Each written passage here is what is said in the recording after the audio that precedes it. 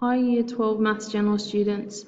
This lesson is from Unit 3 uh, of General Maths um, and we're constructing a scatter plot using Excel to display associations between two numerical bivariate variables. Uh, so the lesson objectives today are given a set of um, numerical variable data. We're going to just quickly review how to classify in order to identify the explanatory and response variables and then construct the scatter plot to help identify patterns um, suggesting the presence of an association using Excel. So we know that the aim of analysing any data is to look out for any patterns or links um, between variables that we're analysing. So we're looking for an association, which is like a correlation or relationship between the two numerical variables of the data sets that we're looking at. So remember these variables can be classified as either categorical, so remember that's name data, um, which can either be ordinal, so it has some sort of order to it, like a star rating, uh, one to five stars, or the other type is nominal. Uh, there's no order.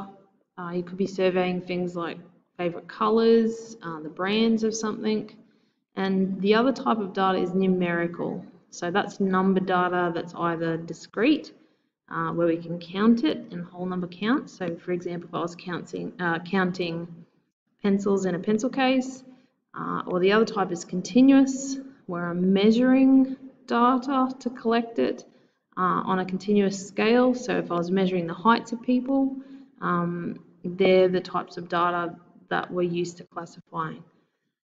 Um, we came across some new terminology uh, to look at variables that have an effect on other variables. So we saw them as explanatory variables, uh, which is otherwise known as the independent variable, which we associate with explaining or having an effect on the value of the response variable.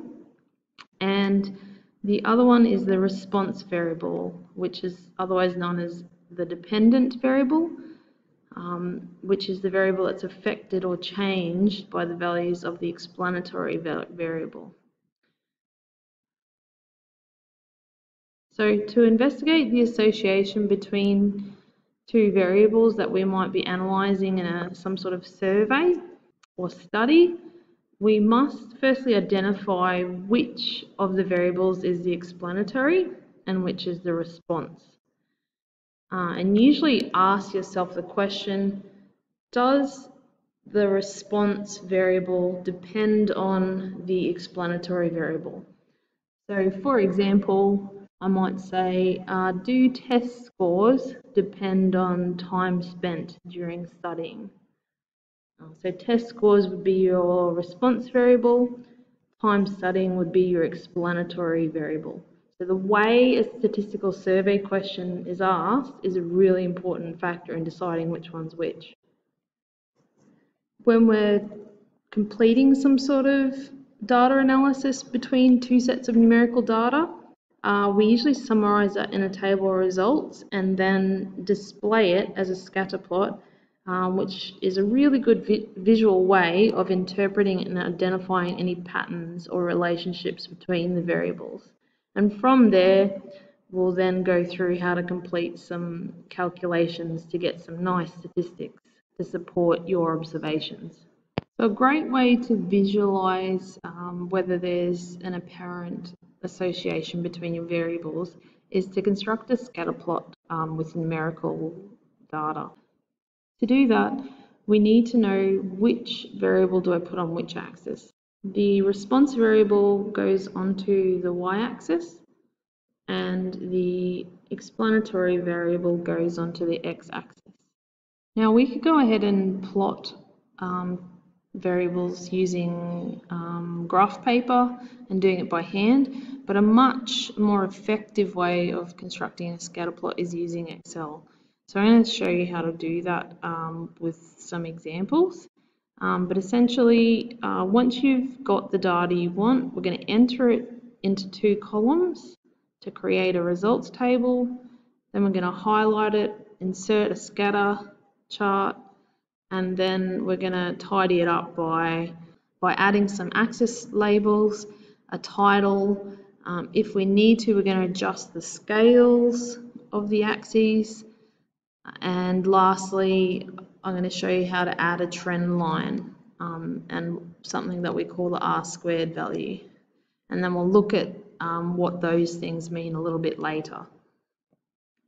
So we're going to do an example. Um, first one we're looking at is 20 people were sampled on their arm length and height in an investigation to see if there was a predictable correlation between someone's arm length and their height.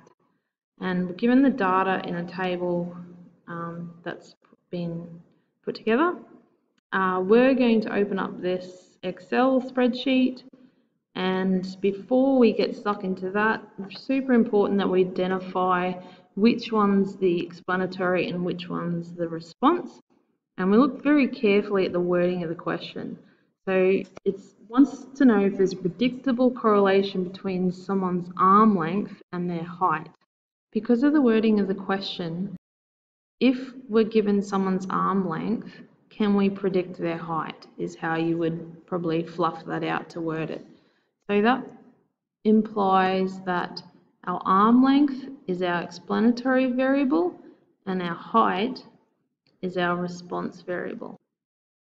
Let's move on to uh, taking it over to Excel and creating a scatter plot. So when we open this up in Excel, um, it's super important that somewhere you acknowledge which one's your explanatory and which one's your response. So you're super clear to yourself um, which one's which. If you put your data in a vertical table of results, Excel would recognize the left-hand column as your X value and your right-hand column as your Y value. Um, so if we want to create a scatter plot for that, we want to select all the data in those two columns. Okay, so you can use shift click to do that. Um, we then go to insert. We want scatter and this one. Okay, and you can see that um, we have uh, the beginnings of a scatter plot. Um, very unpolished, so we need to add things like um, a relevant title, some axes, labels. Uh, we need to fix up this scale because it's very clustered and small. Um, and so we'll go through that process now. So to change the title, uh, if you just select it and um, click inside, you can just um, alter whatever's there and put in what you think is a better title. And if you're not happy with what um, where it puts the title, you can always shift it um, so if you select the box, you can just drag it to wherever you want it. I want to put in some axes labels. So we'll go up to chart design, add chart element, axes titles. So because on my X, that was my arm span. And you can click on the box and bold it if you want uh, add in my y-axis, which was my height.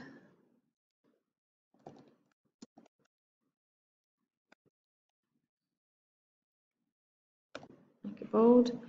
Um, the other thing I'm not happy with is the scaling.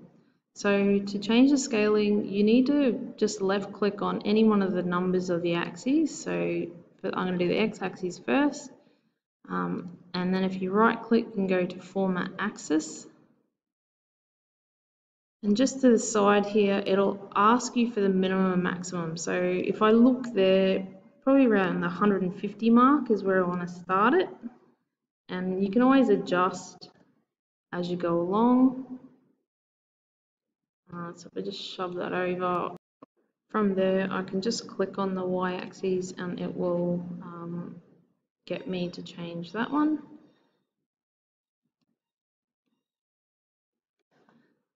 So let's try a minimum of 150 and that looks like a good a good spread of my um, data. So you can close that.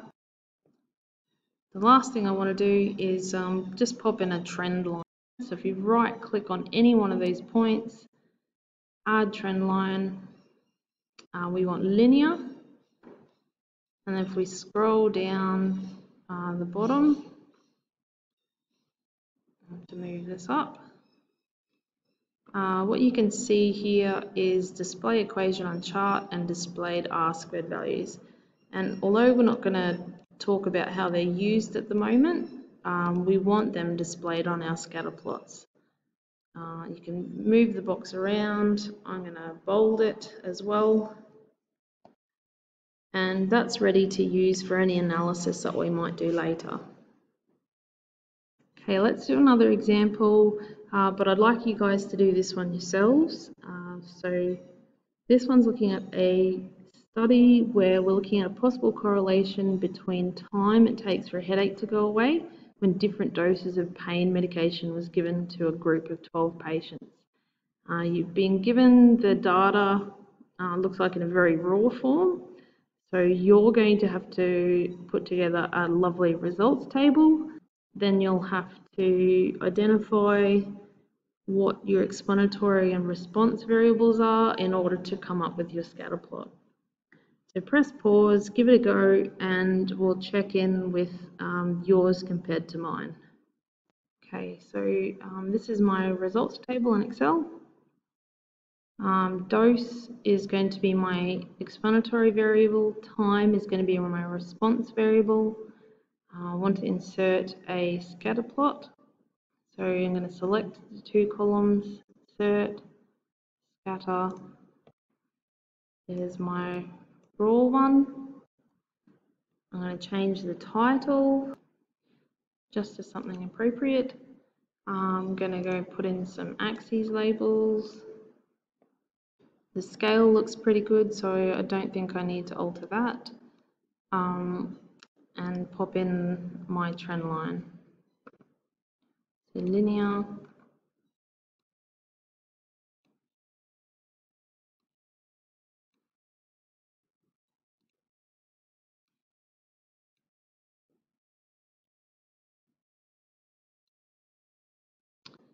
and it's ready to copy over. Okay, um, and there we have it.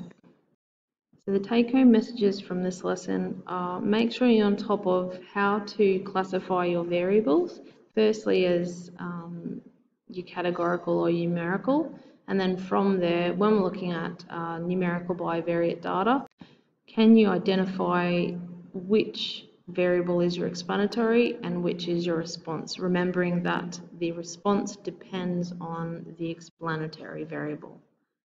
Uh, from there, can you construct a scatter plot um, using Excel and do all those fiddly things like adding on a title, axes labels, fixing up your scale, adding on a trend line and your R squared values. Thanks, Year 12s.